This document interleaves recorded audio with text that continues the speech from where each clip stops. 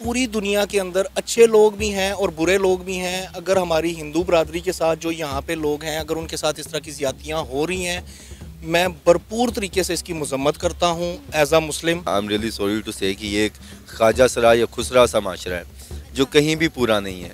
ना ये पूरे सोशल हैं, ना ये पूरे मॉडर्न हैं, ना ये पूरे इस्लामी हैं।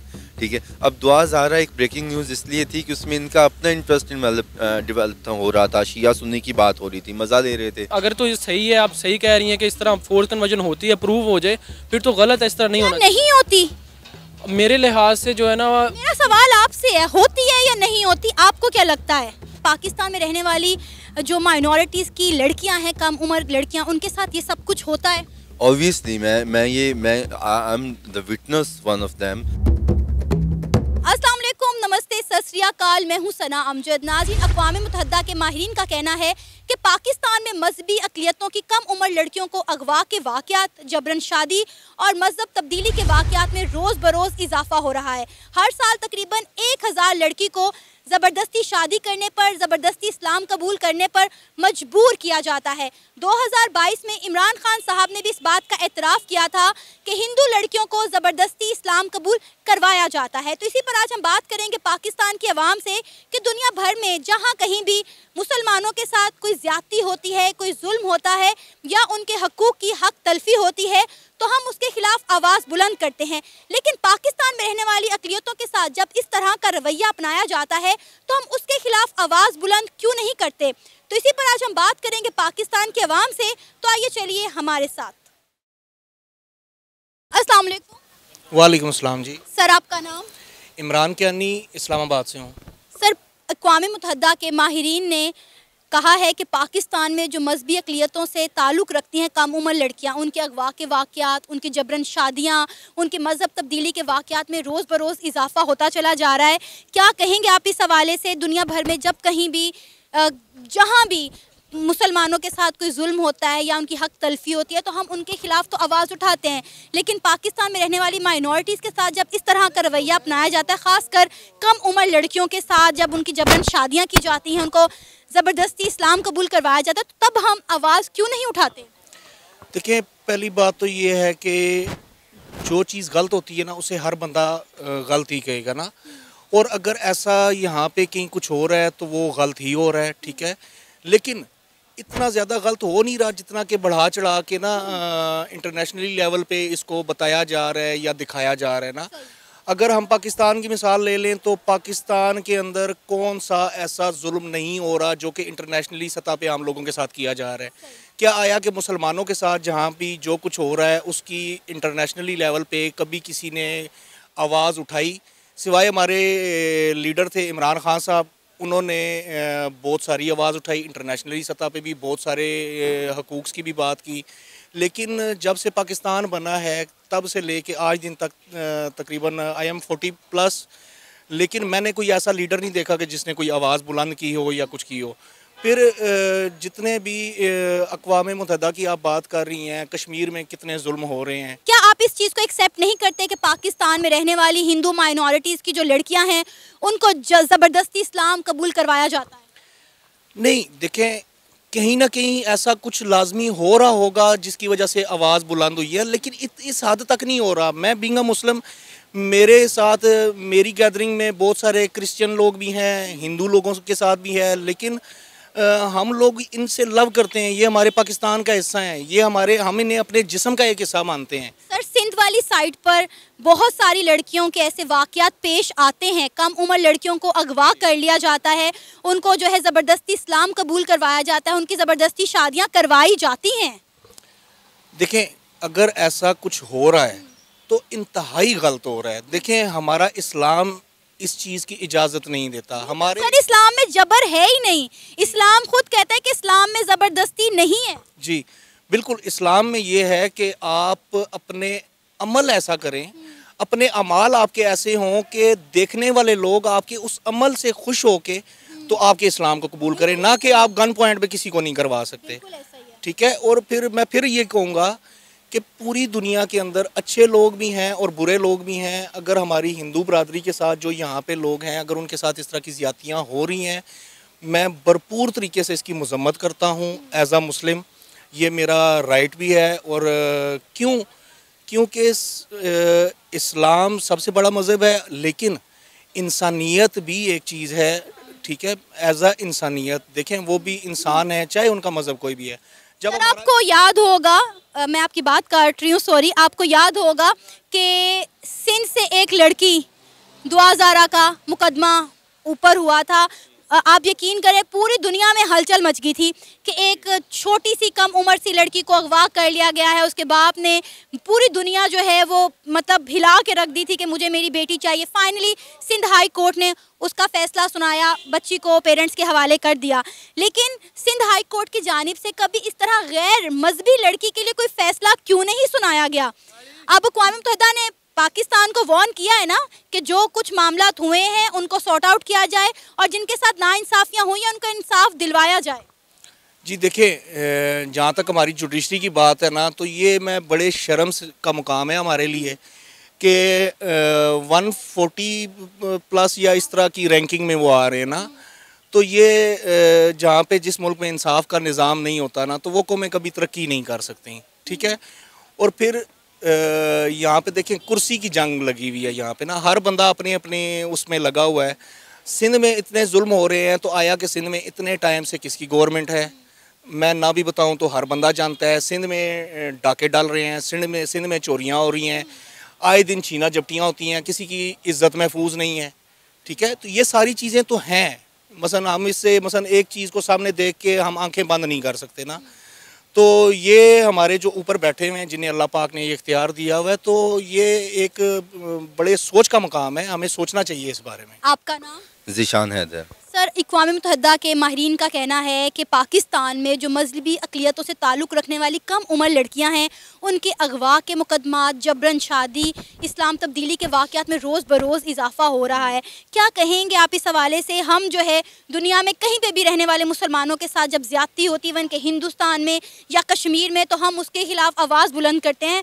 हम ये क्यों नहीं देखते कि पाकिस्तान में क्या हो रहा है और हम इसकी रोकथाम क्यों नहीं करते या इसके खिलाफ आवाज़ ही क्यों नहीं बुलंद करते?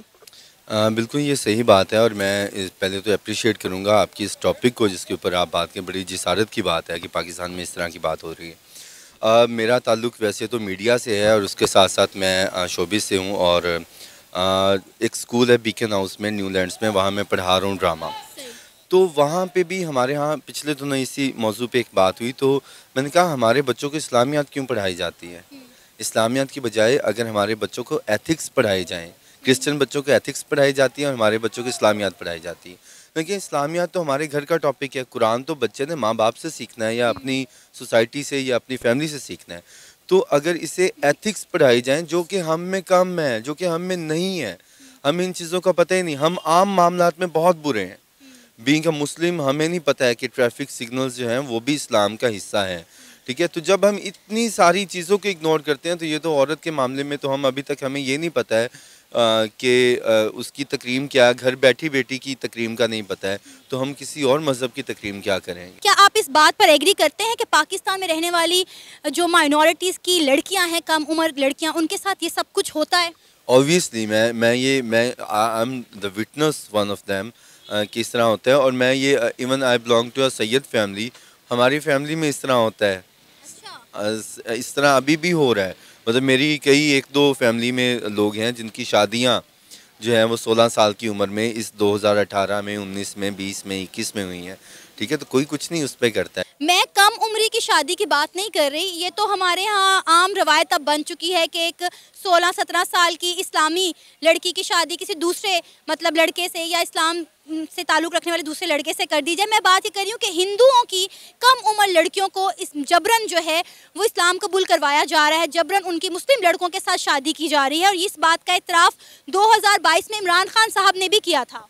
जी बिल्कुल, लेकिन इस बात का एतराफ़ 1400 साल पहले रसोल्ला अलैहि वसल्लम ने भी किया था कि इस्लाम में जबर नहीं है। और अगर इस तरह हो रहा है मतलब ये उस दौर से लेके अब तक हम मुसलमानों ने सिर्फ़ इतनी सी तरक्की की है कि मतलब कुछ भी नहीं है। मतलब ये, आप देखें ना, इस तरह से कभी भी इस्लाम फैलेगा नहीं, बल्कि रुकेगा। हमारा बहुत नेगेटिव इमेज बाहर के मुल्कों में जा रहा है। और ख़ास तौर पे क्रिश्चियन जो कम्युनिटी है उन लोगों में हिंदू कम्युनिटी में ठीक है? हमें सिर्फ़ ये याद है कि इंडिया में मुसलमानों को मारा जा रहा है तशद हो रहा है कश्मीर में ये हो रहा है वो आप क्या कर रहे हैं?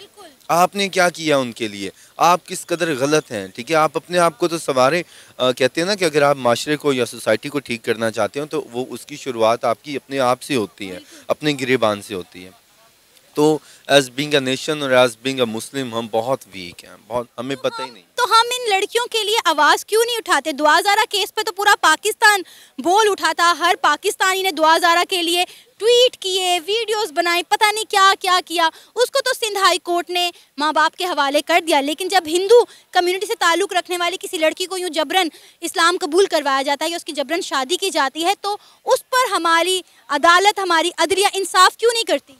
बेसिकली हम जिस माशरे से बिलोंग करते हैं ना, उसके लिए एक अजीब सा वर्ड है। ये ये एक ये एक सेंटर वाला या मतलब जिसे बोलने के I am really sorry to say कि ये एक ख्वाजा सरा या खुसरा सा माशरा है, जो कहीं भी पूरा नहीं है। ना ये पूरे सोशल हैं, ना ये पूरे मॉडर्न हैं, ना ये पूरे इस्लामी हैं। ठीक है? अब दुआ ज़ारा एक ब्रेकिंग न्यूज़ इसलिए थी कि उसमें इनका अपना इंटरेस्ट डेवलप हो रहा था शिया सुन्नी की बात हो रही थी मज़ा ले रहे थे। तो वो इसका मज़ा लेने के अलावा एंटरटेनमेंट के अलावा और कोई मकसद नहीं था। अब इसमें इन्हें ये एक, एक तो हेजिटेशन है ठीक है कि एक दूसरे मज़हब की लड़की है तो उसके लिए बात करेंगे तो पता नहीं उसके घर वाले ही कह दें हमें कुछ। या मज़ाहिब पे जब बात करते हैं तो इन्हें बहुत अजीब गरीब भी डर लगते हैं। ठीक है कि इन्हें पता है कि हम आ, पाकिस्तान जो है वो कितना छोटा है बाकी बैन अवी मज़ार। आपका नाम? असदुल्ला। असद इकवा मुतहदा के माहरीन का कहना है कि पाकिस्तान में मजहबी अकलीतों से ताल्लुक़ रखने वाली कम उम्र लड़कियों के अगवा के मामला जबरन शादी ज़बरदस्ती इस्लाम कबूल करवाने के वाक़ जो हैं वो रोज़ बरोज़ बढ़ते चले जा रहे हैं। क्या कहेंगे आप इस हवाले से दुनिया में जहाँ कहीं मुसलमानों के साथ जब कुछ गलत होता है, कश्मीर में हो जाए या हिंदुस्तान में हो जाए, तब हम बड़ा शोर मचाते हैं। लेकिन जब यहाँ पर हिंदू लड़कियों को ज़बरदस्ती इस्लाम कबूल करवाया जाता है जबरन शादियाँ की जाती हैं, उनके अगवा के मुकदमात होते हैं, अगवा के वाक़ात होते हैं, तब हम खामोश क्यों रहते हैं? अच्छा जो आपने पहले बात की ना कश्मीर की, कि कश्मीर के ऊपर हम बोलते हैं तो वो बोलना गलत नहीं है मेरे लिहाज से तो वो अगर हम बोलते हैं तो वो भी बोलना चाहिए। और अगर ये प्रूव हो जाए ना कि मतलब कि फोर्स कन्वर्जन है सिंध पे हो पंजाब में पाकिस्तान में या दुनिया में किसी भी जगह पे हो तो वो फोर्स कन्वर्जन अगर हो ये प्रूव हो जाए तो फिर उसके बाद हमारे पास ये लीगल सिस्टम होना चाहिए कि हम उसके काउंटर कोई एक्शन ले सकें। तो सबसे पहले तो ये चीज़ होनी चाहिए कि हम वैसे किसी को एक्यूज़ ना करें। अगर प्रूफ हो जाए तो फिर उसका कोई ना कोई हम उसका मतलब स्टेप लें। आपको पता है कि हर साल एक हज़ार लड़की को ज़बरदस्ती इस्लाम कबूल करवाया जाता है। जबरन शादियाँ की जाती हैं, उनके मज़हब चेंज करवाए जाते हैं और ये बहुत बड़ी अमाउंट है। अच्छा ये जो आपने फिगर कोट की है ना तो पहले तो ये हमें देखना पड़ेगा कि ये फिगर आई कहाँ से और ये जनरेट किसने की इसकी ऑथेंटिसिटी देखनी पड़ेगी। तो अगर तो ये ऑथेंटिक होगी ना तो फिर जो गवर्नमेंट ऑफ़ सिंध है उसको कोई एक्शन लेना चाहिए उसको कोई ऐसा कानून पास करना चाहिए कि जिससे जितने भी मज़हब के लोग हैं ना वो अपनी आज़ादी के साथ रह सके पाकिस्तान में या दुनिया में कहीं पर भी। आपने आज तक ऐसी कोई न्यूज़ नहीं सुनी कोई वाक्य नहीं सुना जिसमें गैर मजहबी लड़की को ज़बरदस्ती कुछ करवाया जा रहा हो उसकी ज़बरदस्ती शादी की जा रही हो या इस्लाम कबूल करवाया आपने ऐसा कोई खबा किया कोई खबर नहीं सुनी? आ, मैंने जितनी भी सुनी है ना वो मैंने सोशल मीडिया के थ्रू सुनी है और मैंने सुनी है।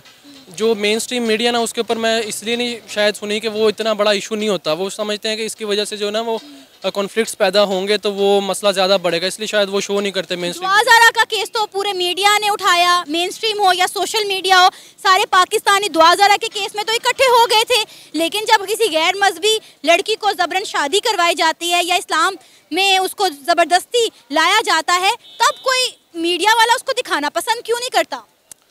आ, अगर तो जो दुबा जहरा का केस है ना उसके अंदर तो ये था कि किसी को कुछ नहीं था पता केस क्या है। तो वो केस जो है ना जिसको जो समझ लगी है सोशल मीडिया पे और मेन स्ट्रीम मीडिया पे उसने उसके अपने लिहाज से उसको बताया रेटिंग की वजह से या व्यूज़ की वजह से जो जिस वजह से भी। और उसके बाद जो ये है ना ये केस ये अगर तो ये सही है आप सही कह रही हैं कि इस तरह फोर्थ कन्वर्जन होती है प्रूव हो जाए फिर तो गलत है इस तरह नहीं होना नहीं होती? मेरे लिहाज से जो है ना मेरा सवाल आपसे है होती है या नहीं होती आपको क्या लगता है? अब मेरा मेरा आंसर इसका यही है कि आ, शायद एक दो केसेस होते हों एक दो? होते हों और उसको वो एग्जैचरेट कर देते हो, ज़्यादा कर देते हो, ठीक है? मिसाल के तौर पर अगर दस केस हुए तो उसको हज़ार बना देना, इस तरह। तो वो हमें ये देखना पड़ेगा कि जितने वो केस के क्लेम कर रहे हैं, वो वाकई उतने हो रहे हैं ये नहीं।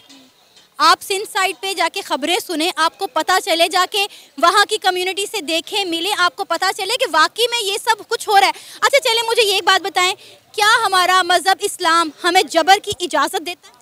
और जबर की तो कोई मज़हब भी इजाज़त नहीं देता। इस्लाम चाहे छोड़े मतलब कोई भी मज़हब हो हिंदू हो क्रिश्चियन हो इस्लाम हो जबर की तो कोई मज़हब इजाज़त नहीं देता। तो फिर हम किस तरह हिंदू लड़कियों को जबरन इस्लाम कबूल करवा सकते हैं? ये बात मैं नहीं कर रही हूँ। ये पाकिस्तान के ex prime minister Imran Khan साहब ने 2022 अगस्त में की थी। इमरान खान को तो मैं इतना नहीं करता वो मेरे लिए ऑथेंटिक नहीं है कि जो वो कहेंगे मैं उनको मान लूँ कि वो सही कह रहे हैं। मतलब आप इस खबर को ऑन नहीं करते। खबर को नहीं ऑन करता, क्योंकि मुझे ऑथेंटिसिटी चाहिए ना खबर की इस तरह तो खबरें रोज़ काफ़ी आती हैं।